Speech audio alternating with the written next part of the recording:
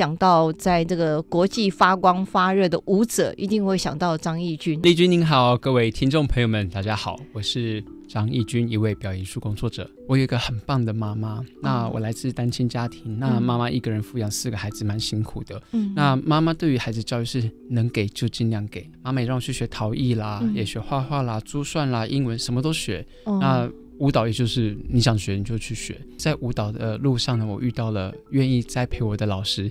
在下课后，大家就是以前去补习班或什么，那我有老师就愿意陪着我在学校继续练。最困难的是用这个一只手去抓那个绸布，是吧？因为下面完全没有安全网，上面也没有钢丝，就靠着一只手，真正的一手悬命确认，确实在确认，因为。全世界太多的精英都在那样一个团队里面，你光做一个布料，它会不会太滑？它是左右伸展还是垂直伸展？每一个布料都有不同的功能。体操老师来教你，然后有高空老师教你，然后再确认你的身体重量适合什么样的布。我觉得那些东西是，呃，我们可能他们就觉得不可思议。那么估摸干嘛可以用就好？是是是。那我觉得这件事情是我那时候学到一个很不一样的一个经验。那当然就是。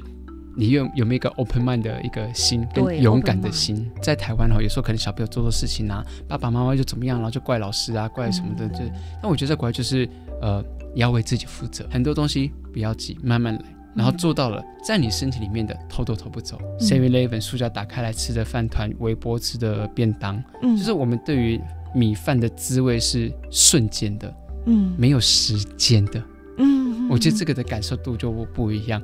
那表演也是一样。哇！每个人看到哇，你会不会劈腿？要不要干嘛？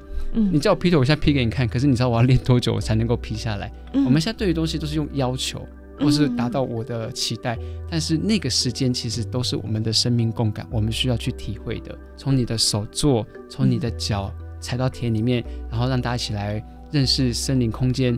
让大家把感知感觉都打开来，让大家一起都能够感受生活中的美好，这是我觉得很重要的事情。作为表演艺术工作者，在做不是只是美，在人的沟通。妈妈好好为你煮了一顿晚餐，那就是她的表演。